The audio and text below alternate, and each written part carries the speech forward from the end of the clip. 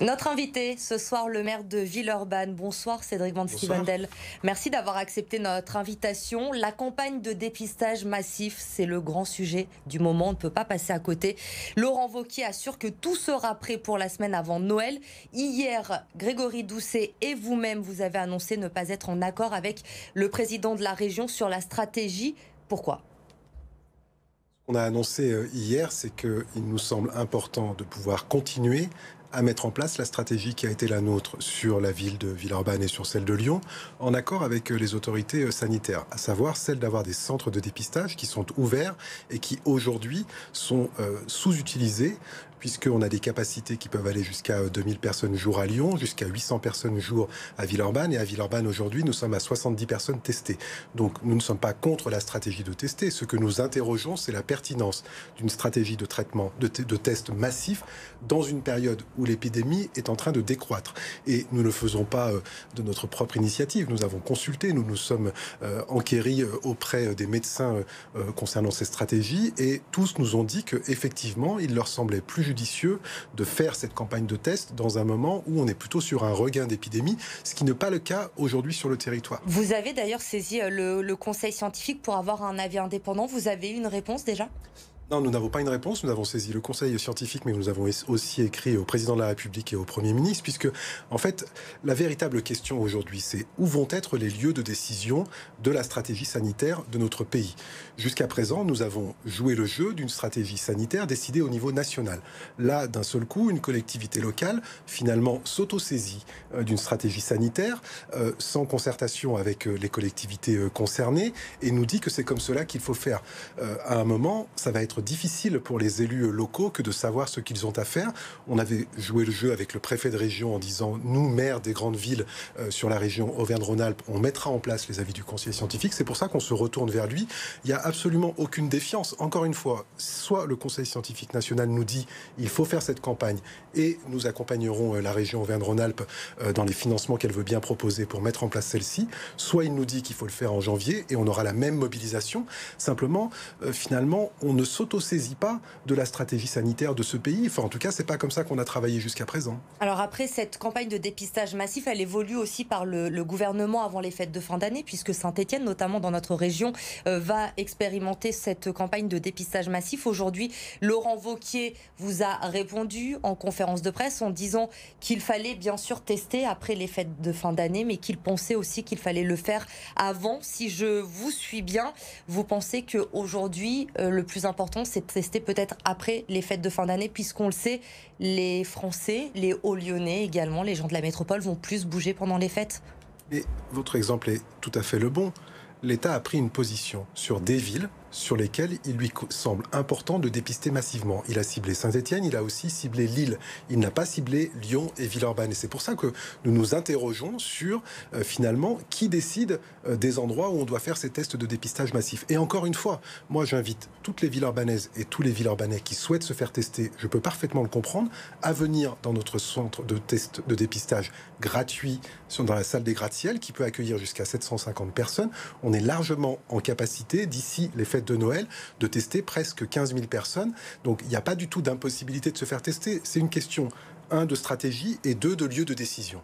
Alors justement, cette euh, campagne de dépistage euh, massif, Laurent Vauquier est très présent sur le sujet en ce moment. Il a annoncé également la création d'un comité scientifique régional pour euh, gérer cette campagne de dépistage massif. On le sait, il y a déjà un conseil scientifique au niveau national. À Marseille, on avait voulu faire la même chose.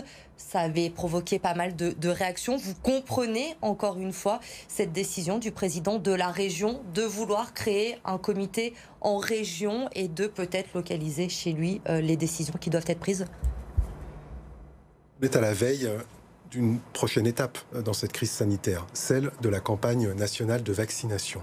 Et moi, il me semble qu'il n'est pas opportun, dans une forme finalement euh, de bruit médiatique, euh, de venir rendre encore plus complexes les stratégies sanitaires qui sont à l'œuvre. On a suffisamment critiqué le gouvernement sur parfois le manque de clarté pour ne pas participer à une forme de multi-lieu de décision. Aujourd'hui, l'État n'a pas fait le choix d'une politique sanitaire qui est décidée par les régions. Ce n'est pas le cas dans tous les pays. En Europe, les Landes, en Allemagne par exemple, ce sont les Landers, ce sont, les Landers qui ont décidé. Ce n'est pas le choix que nous avons fait en France. Maintenant, si chacun veut décider de sa propre organisation, libre aux collectivités de prendre cette responsabilité. Ce n'est pas le choix que j'ai fait en tant que maire de Villeurbanne. Je me suis toujours confirmé aux avis, conformés pardon, aux avis du Conseil scientifique. Je vais continuer à le faire. Je ne souhaite pas que nous ayons finalement euh, des batailles de conseils entre le niveau national et le niveau régional.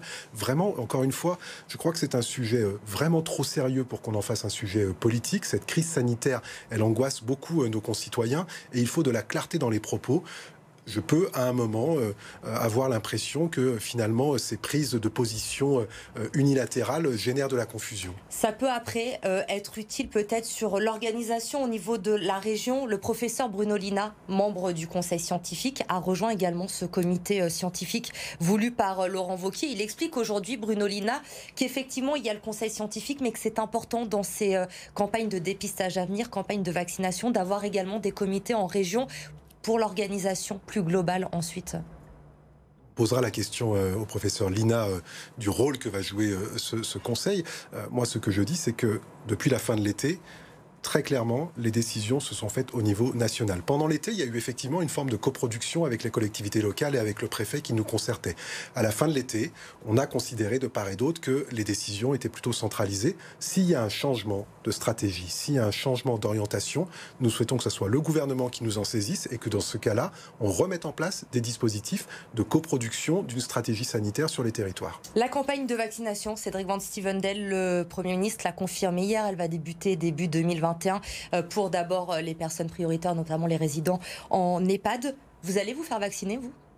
Oui, à titre personnel, je comprends parfaitement la position du gouvernement qui est de ne pas rendre obligatoire euh, cette campagne dans la mesure où il y a une forme de, résistance aujourd'hui et d'inquiétude, dans un moment où par ailleurs cette inquiétude elle perdure euh, et elle a été finalement omniprésente. Pour autant, à titre personnel, je me ferai vacciner euh, et si on me demandait mon avis, je crois que c'est quand même plutôt une bonne solution. Vous allez justement parler avec les habitants de Villeurbanne. Vous sentez déjà, on sait qu'il y a beaucoup de méfiance sur ce vaccin. Vous allez vous exprimer sur ce sujet, essayer de rassurer les habitants de votre ville?